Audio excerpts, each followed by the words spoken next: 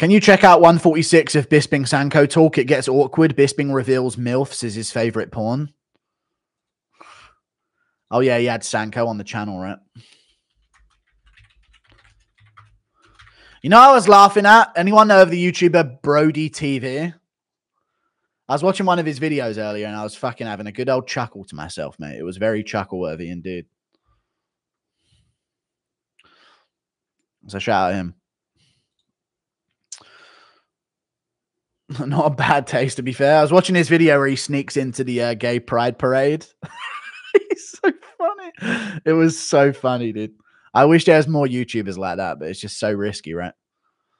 Bisping and Laura Sanko, right? 146, was it?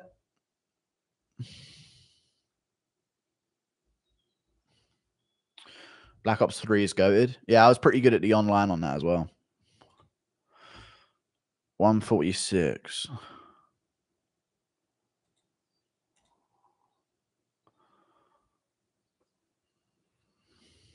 But you can't in the same conversation say attacking wives is off limits and then call this woman a pedophile, which she clearly is not.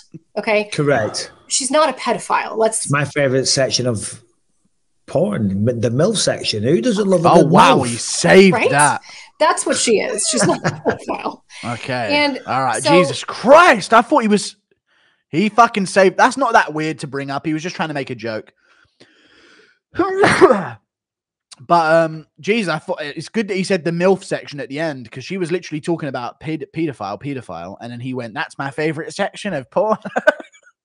the MILF section, by the way, dude. Thank God you said the MILF section at the end. That could be taken way out of context. All right, go in there. You want me to fucking terminate your channel, do you? I'm joking. Don't fucking ever go against me in this chat, yeah? You fucking loser of a thing. I'm gonna fucking end your clipping days for good, yeah?